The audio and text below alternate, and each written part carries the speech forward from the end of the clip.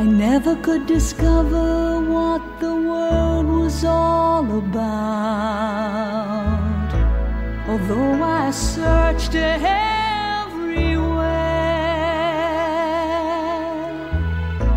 the good and bad were too mixed up to sort them out.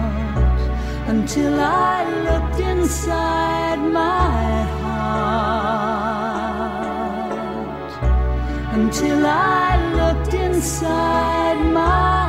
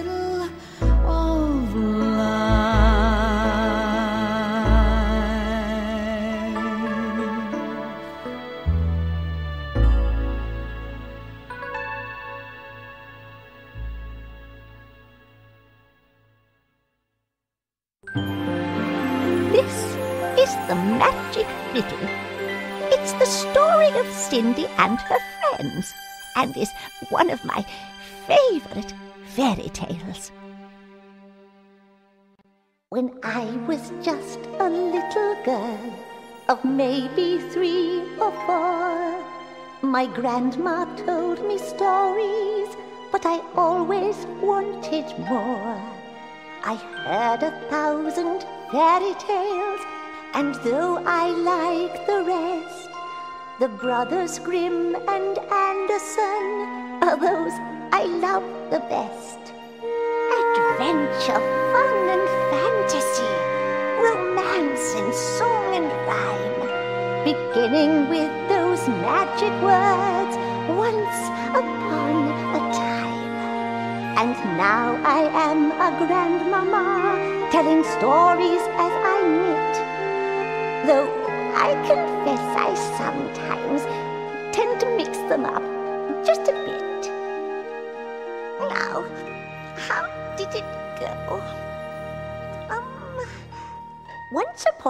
time, there were two little pigs. Oh, goodness gracious me. Were they really ugly ducklings? And was it two or three? Let's see. Now they went a walking in the wood and soon met Big Bad Riding Hood. Or did they meet Pinocchio? Good heavens, I don't know. Hmm. Cinderella and the Seven Wolves, I'm sure they're in the plot. What about that Snow White dwarf? Was he there? Or maybe not. Oh dear. Well, something funny happened then. I think I'd better start again. I don't care what the others say. My fairy tale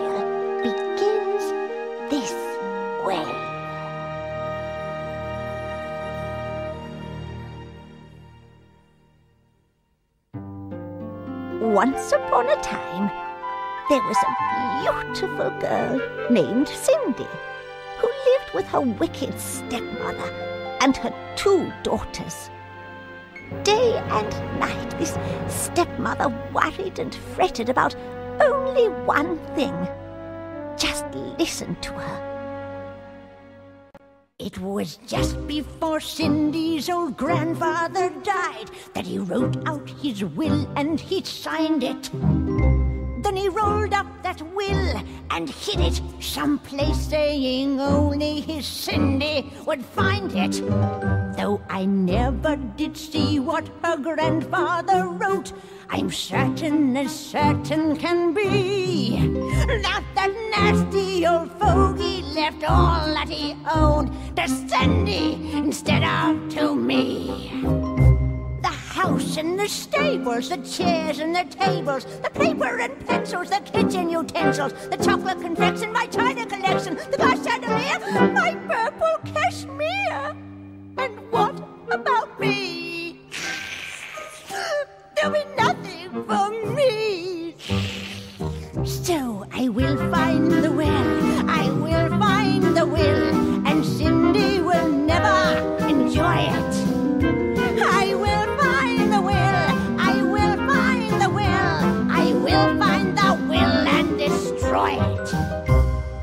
And everything will be mine. But if she discovers it before I do, the day of her marriage, she'll ride in a carriage with satin and laces and nice social graces. And what about me? There'll be nothing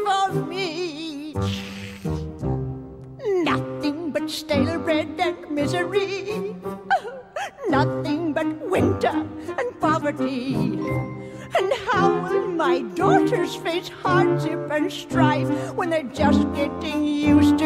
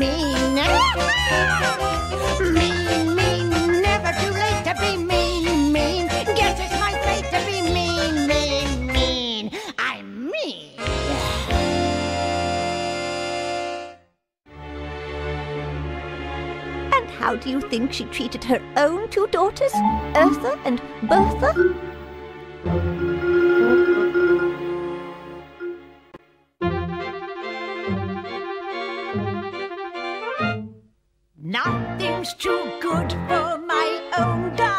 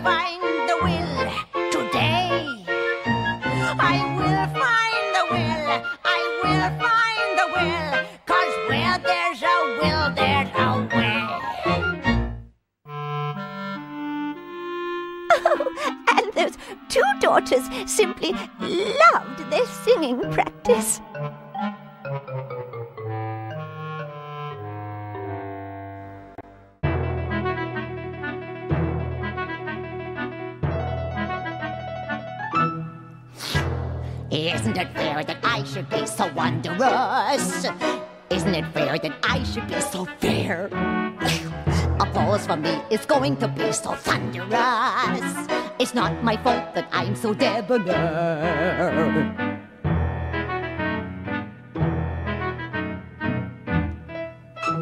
Don't pay too much attention to my sister dear. For maybe she's deluded as can be. There's only one the audience will stand and cheer. And that, of course, my friends, is little me. Ah! Come on, girls, together now. Sisters, sisters, no one can resist us. Sisters, sisters, beautiful and fair.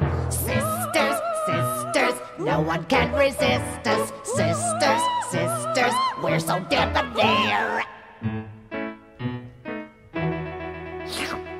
Come see my ballet and you'll witness demonstrations of physical fitness.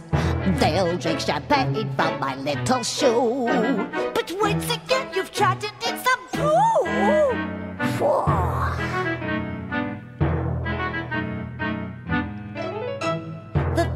People will cheer and rejoice at the pure sound of my voice. My do re mi fa is much smoother than silk. Do re mi fa, but her sol do curdles the milk. now stop it, girls, and sing. Sisters, sisters, no one can resist us. Sisters, sisters, beautiful and fair. Sisters, sisters, no one can resist us. Sisters, sisters, we're so debonair. So while Eartha and Bertha were singing away, Cindy was downstairs in the kitchen, working hard as usual, with only her animal friends as company. Cindy, go and wash the window. Cindy, sweep the hall. Cindy, when you finish, scrub the kitchen wall to wall. Cindy, have you cleaned the laundry? Cindy, mop the floor. Cindy, don't forget to dust behind the kitchen door. Cindy, go and weed the garden. Cindy, rake and prune. Cindy, get a move on. Cut the grass this afternoon. Cindy, have you groomed the horses? Cindy, milk the cow. Cindy, Cindy. Cindy, Cindy, Cindy, do it now. Poor Cindy. Work, work, work. Though sometimes she'd sneak out by the pond with her sad little friend, the ugly duckling.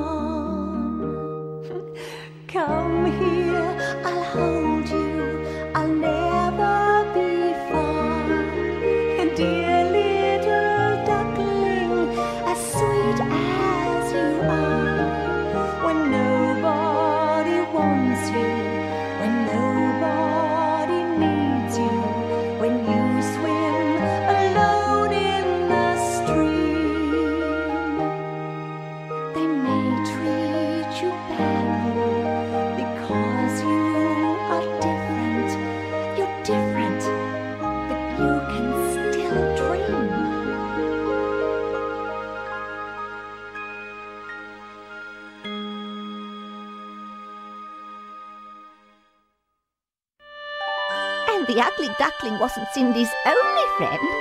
The three little pigs were always around to cheer her up.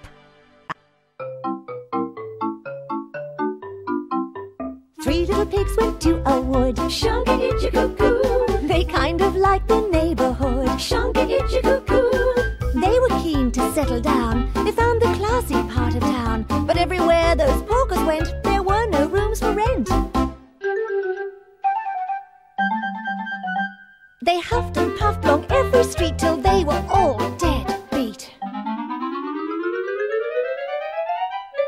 took a course in architecture.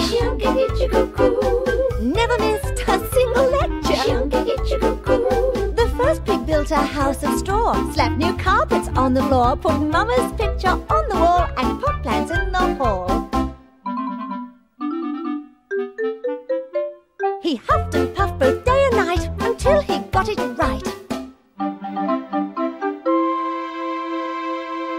A wolf lived up on Vinegar Hill. Sold his mother for a dollar bill. he was mean and he was big and he was very fond of pig. Went down to the house for a friendly talk and took his knife and fork.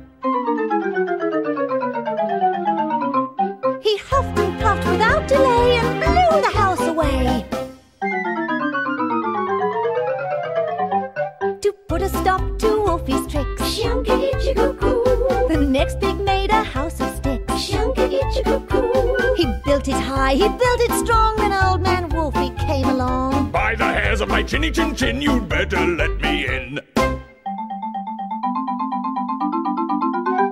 He huffed and puffed and blew it flat, and brother, that was that.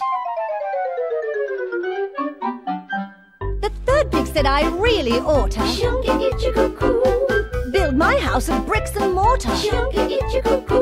He finished the house at ten to three, opened the window. What did he see? A Wolfie coming down the road to view his new abode. Huffed and puffed all round the place, went purple in the face.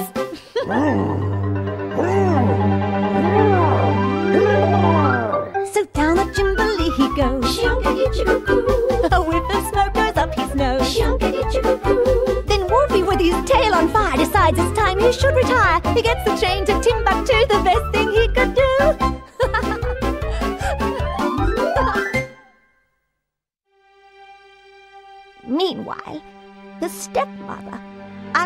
unsuccessful in her search for the will, became desperate and asked her evil magic mirror for help.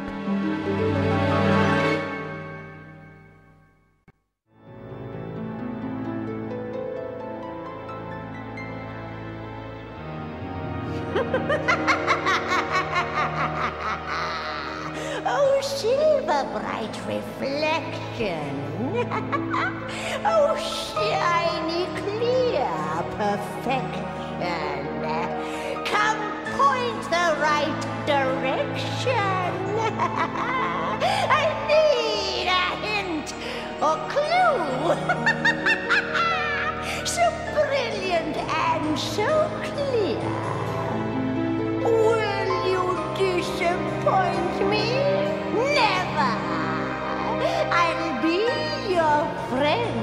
forever! Just show me what to do!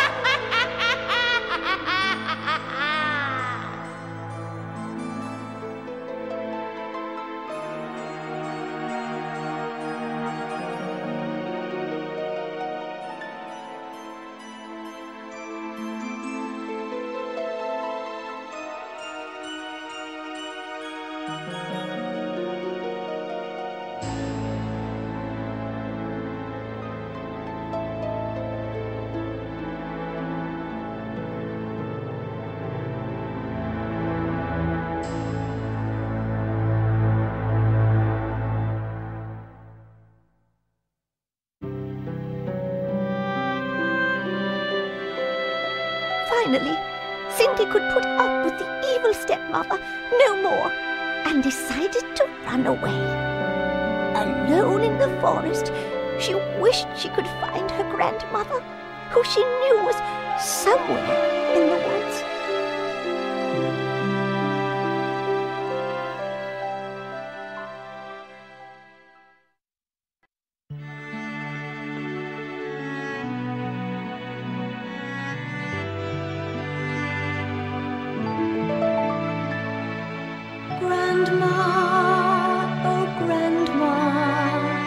I wonder if she knows about me.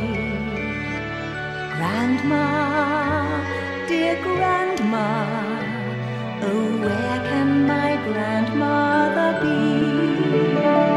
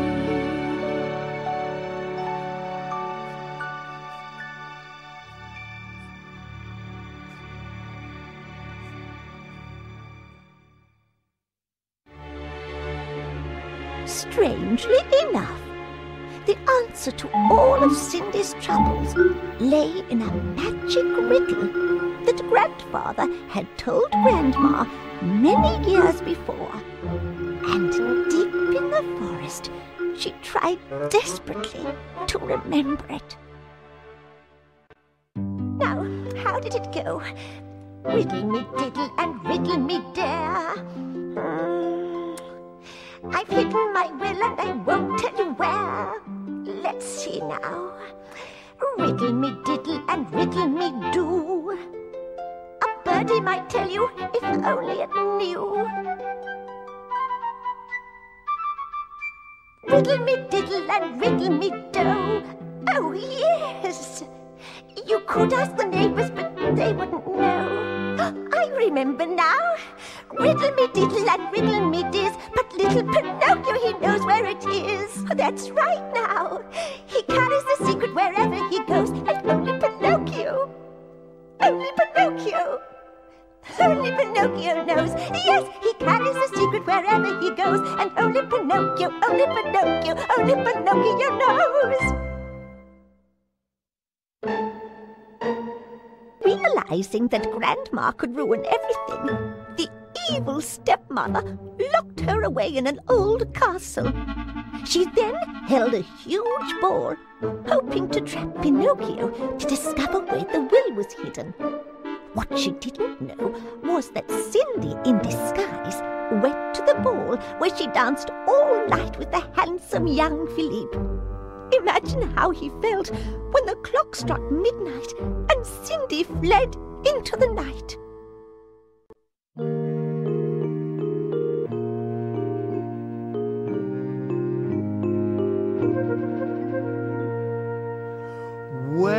The girl in the snow white dress? I wonder where she can be. I cannot explain the way that I felt when she was dancing with me. How can you lose your heart to a stranger? It's foolish, I must confess. I'll never stop till I find her, the girl in the snow white dress. Where did she come from? Where did she go? There's so much about her that I don't know. The moment I saw her, I knew I'd adore the girl in the snow white dress. Could I have only imagined it? I hope it wasn't a dream. For when you have fallen deeply in love, things may not be what they seem. Like a knight errant seeking his lady, I'll search for my maid in distress. And I'll never stop till I find her, the girl in the snow white dress. Where did she come from? Where did she go? There's so much about her that I don't know. The moment I saw her, I knew I'd adore the girl in the snow white dress. The girl in the snow white dress.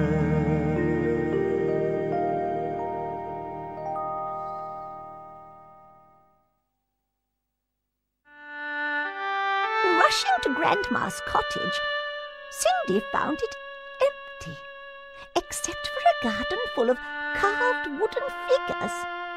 It was Pinocchio and the seven dwarfs, and when Cindy kissed them, they miraculously came to life to help her. I'm alive. My name is Goody. We call him Moody. Here we have Funny. His name is Rudy. And don't forget Looney, the brains of the crew. Meet Mitzi and Bitsy. That makes seven. Who are you? I'm Cindy, just one Cindy. How do you do? Hang on, hold your horses before it's too late. If you count us again, you will find there are eight. And just for the record, I'm sure you'll recall I happen to be the most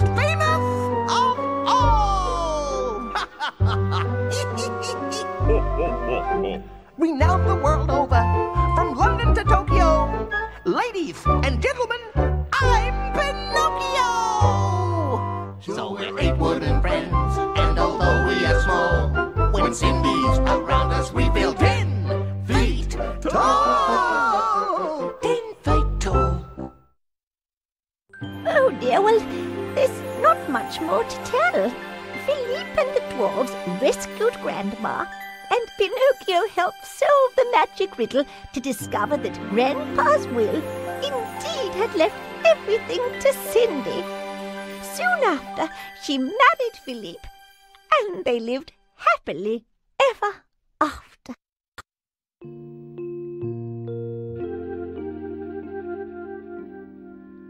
Listen to the church bells ringing. Listen to the singing. See the dark clouds roll away. It's Cindy's wedding day. Hello, smiles and happiness. Hello, nice tomorrow. Goodbye, nasty yesterday. Goodbye, tears and sorrow. Goodbye, rain clouds. Hello, sun. There's nothing more to fear. Fairy tale should end like this. Lots of friends to hug and kiss. Bright blue sky and wedded bliss and springtime all the year. Listen to the church bells ringing. Listen to the songbirds singing. See the dark clouds roll away. It's Cinderella's wedding day. It's Cindy's